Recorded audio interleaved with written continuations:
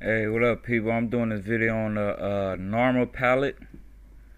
I'm getting this out the Western Experience, just uh, uh, basic, looks like a basic history book. I had it for a little while. Got it from uh, St. Vincent de Paul. I think it was only like some cents. Excuse me. But I'm gonna talk about that and how it connects to North South America.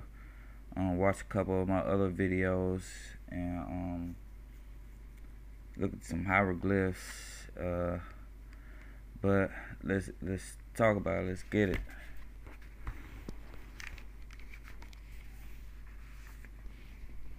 This was called the Narmer palette. Um,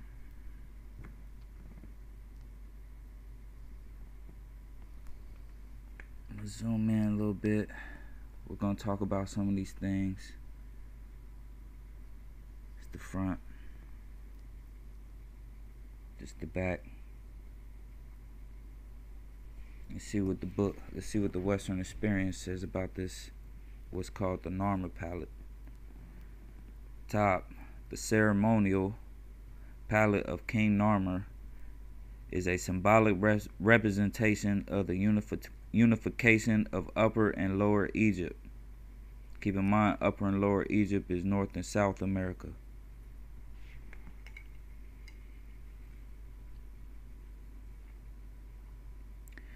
This side of the palace shows the king wearing the white crown of Upper Egypt, smashing the head of an enemy. The god Horus, in the form of a falcon, holds a rope attached to a captive of Lower Egypt, a region symbolized by six papyrus plants. Now, that all this is very interesting. Uh, it's already confusing already because it's called the unification of Upper and Lower Egypt. But still, the god Horus holds a rope a rope attached to a captive of Lower Egypt. So, how is the captives un unified with Upper Upper Egypt? See how that's already confusing, but let's look at that. Uh, first, let's go back a little bit. Uh, palace shows the king wearing a white crown of Upper Egypt. Let's look at this.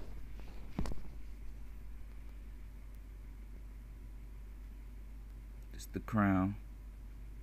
Remember this.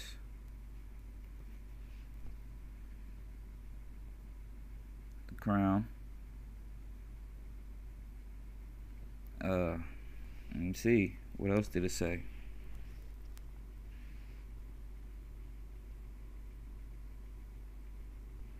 Smashing the head of an enemy.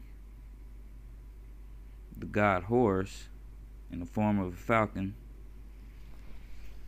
god Horus in the form of a falcon holds a rope to holds a rope to a captive of Lower Egypt. A region symbolized by six papyrus plants. This right here. Now this was interesting because uh, watching um, Teach Me to Be Priestly. Uh, check his video out. Go and watch his video talking about the uh, in Ezekiel 17 the parable of the two the two eagles. So this was this was like, I mean, his video was mind blowing. I mean, go watch that right after this. Watch that if you haven't already. Um. Okay. He's holding the head of the uh Look at the king smashing the head. Where have we seen this before? But we'll talk about this. We're going to talk about all this right here. Um, we're going to look at some of this other stuff too. But I suggest you Google it. You could pause it and Google it also. It's called the Narmer palette, and we're going we're going to talk about that.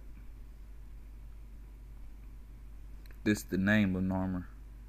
Right here, King Fish, King Catfish. That's what the that that's what I'm not lying. King Catfish. Pause it. Use your Google. King Catfish. Right there. Boom.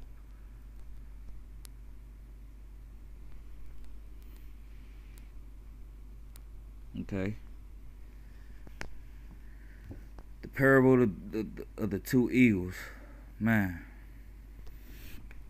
But let's go down here and look at the bottom or the back. Uh, bottom. On this side of the palette, King Narmer has completed his conquest of Lower Egypt and wears the red crown that of that kingdom. He is renewing the bodies of the of decap decapitated victims. The exotic beast with the necks intertwined may symbolize the unity of two Egypts. Of the two Egypts. I did a video talking about the two Egypts. Excuse me. But then this doesn't say the, the unity of North, North, North and Upper and Lower Egypt. Excuse me. North and South America. I was right the first time. It says unity of the of the two Egypts, not not uh, Upper and Lower Egypt.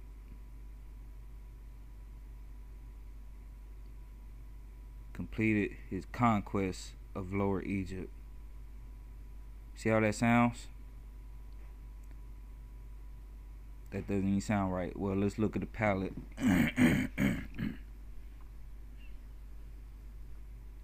okay. Here, he goes wearing the crown of Upper and Lower Egypt. Okay. Here goes his signature, Kingfish.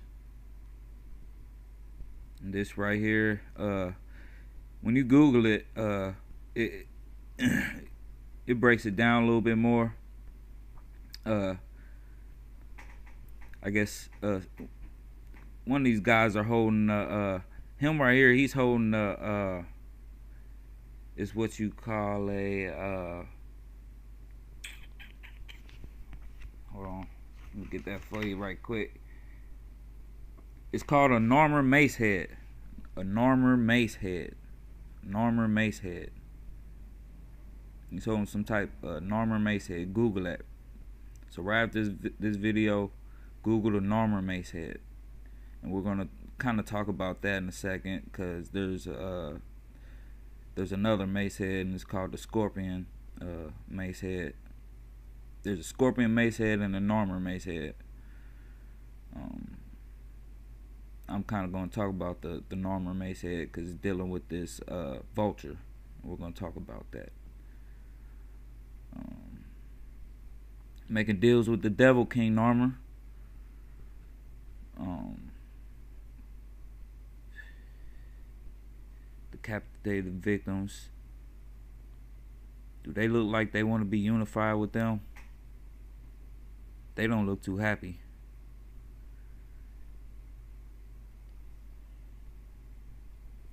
Here goes the king catfish symbol, the catfish symbol again. Jesus fish or Narmer fish. Things that make you say, hmm. Here goes the Ka. We talked about this. And we talked about this in my other video. Ka. Okay, the intertwining, uh, unification of the two Egypts.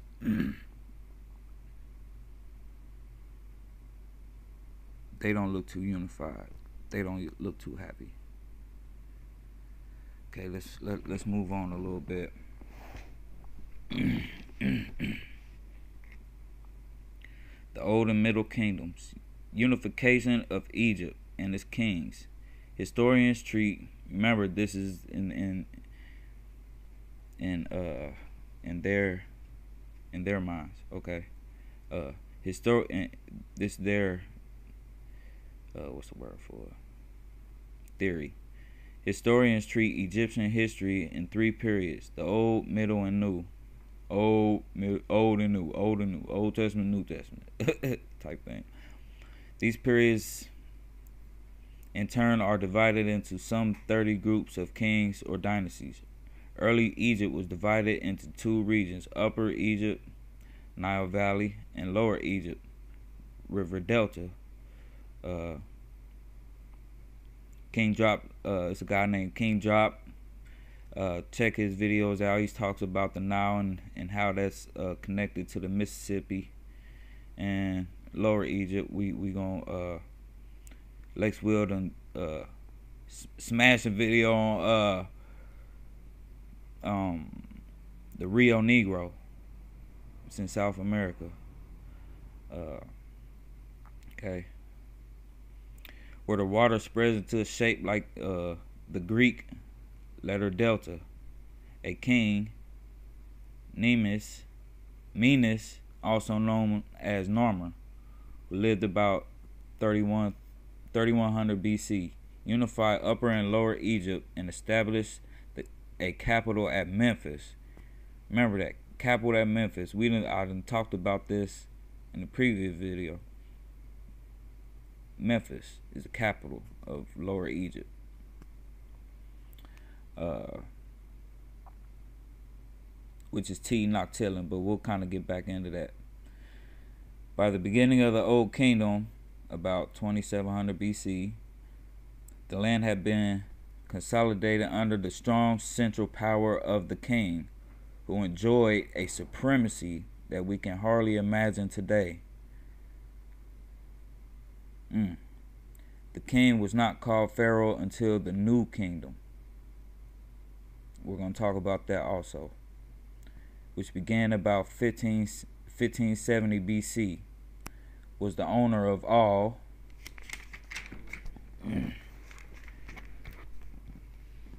Was the owner of all Egypt and was considered a god as well. The whole economy was a royal monopoly. Talked about that dumb diversity, this monopoly, royal monopoly, serving the king was a hierarchy of officials ranging from governors, provinces, down through local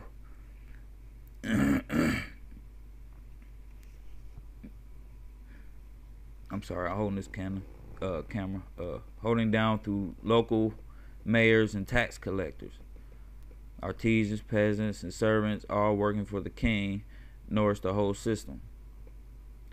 The supreme monuments of the Old Kingdom and the three immersed period pyramids, tombs for kings built at Giza, now within the city of Cairo, between. Okay, we're we're gonna go.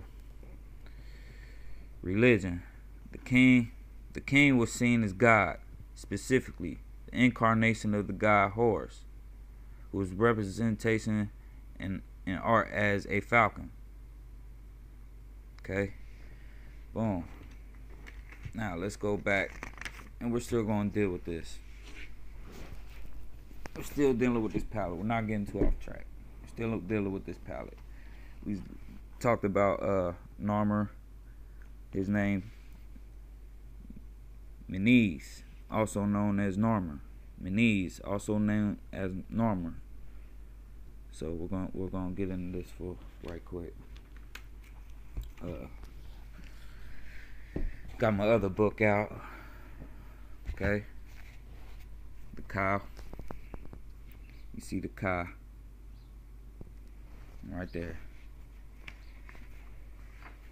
Uh, we talked about Memphis. I'm sorry, I'm I'm kind of all over the place. Uh, where was we at? Establish a capital at Memphis. Okay, we're gonna go back into my other book. Memphis would be Lower Egypt. South America, also known as Tenochtitlan. And if you look at old uh, pictures of T. Tenochtitlan, it looks like a looks like an eye, looks like the eye of Horus, which is also Mexico City. And Negroes have a lot of history down there. They have murals um, um, to you to you in Mexico City. Uh, used to be a pyramid on the lake. Um, that pyramid, um, I think connects has has something to do with a tree. It may have been a tree at one point. Uh, you know that so that's something else to kind of get into. Watch me teach me to be Priestley's video on on on the trees, the, the trees and the uh, the parable in Ezekiel 17. Uh, I'm not. I don't want to get off too off track. Okay. Uh, now how does that relate to uh, Quetzalcoatl? now I had to print this up side by side so you can see exactly what I what I'm saying. It's the same. It's the same act going on. Holding the head.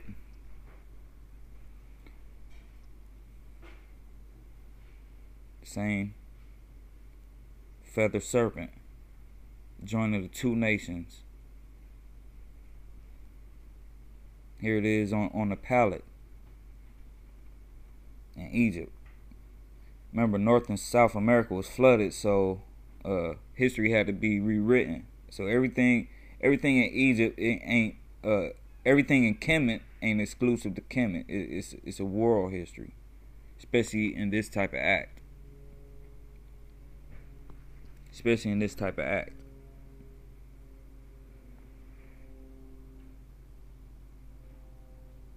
You know, if you know, uh, I want you to research King Narmer, uh, Meneses, because uh, I got this. This is called. This is a codex called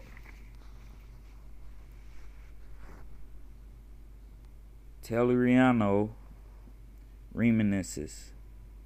Reminiscences. Okay, take off re. Ray. Ray means king.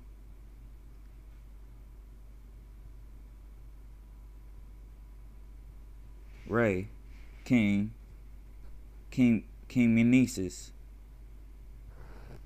Codex, King. Look this up, and this is what you're gonna get.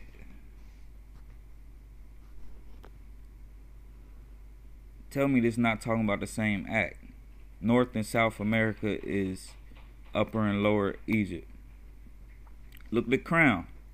I could use this. Uh, hold on. Let me bring this over here a little bit so so we could read. The god Horus. Oh, hold on. No, let's go. Let's go back up. Uh, King Narmer is a symbolic representation of the unification of Upper and Lower Egypt. This side of the palace shows the king wearing the white crown of Upper Egypt. King Narmer has completed his conquest of Lower Egypt and wears the red crown of that kingdom. Let's go back up here and look at Quetzalcoatl, the feathered serpent. Look at his crown. Ain't it kind of, he got the little pointy, pointy crown in his red and white.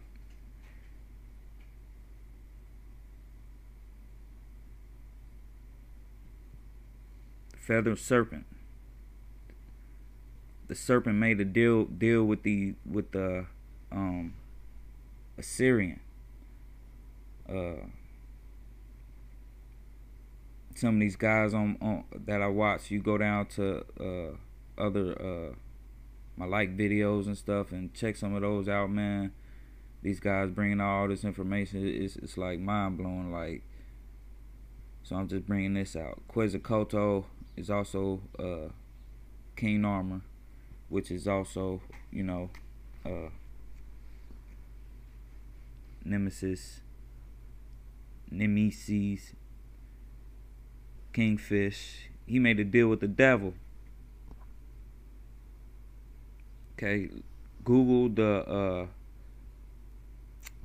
the um the Narmer Mace head. Okay, hold on. Let me go back to my Egyptian book. Pull this out right quick.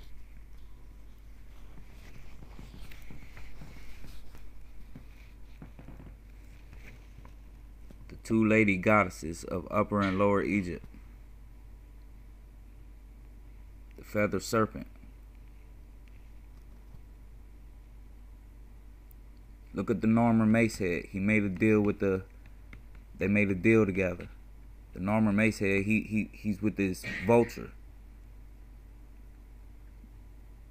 This vulture called Nebuchadnezzar. Nebuchadnezzar, some something like that.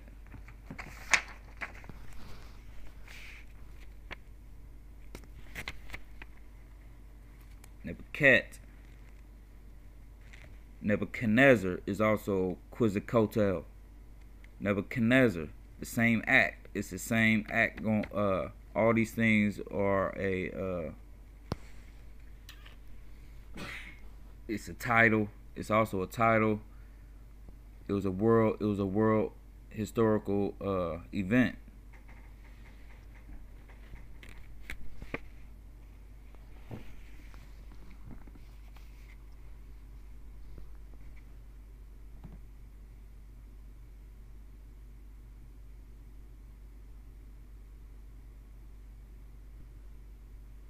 So I hope you enjoyed that. You go back, pause, rewind. You can read for yourself. I'm not a good reader. I'm a better writer, better thinker. Uh,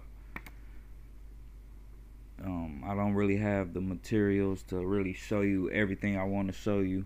But stay tuned. Uh, I'm I'm a, I'm gonna get that handle for you so we can bring out some more stuff. Um, still working on going to the wilderness, so uh, you know. Praise the Most High. Peace out.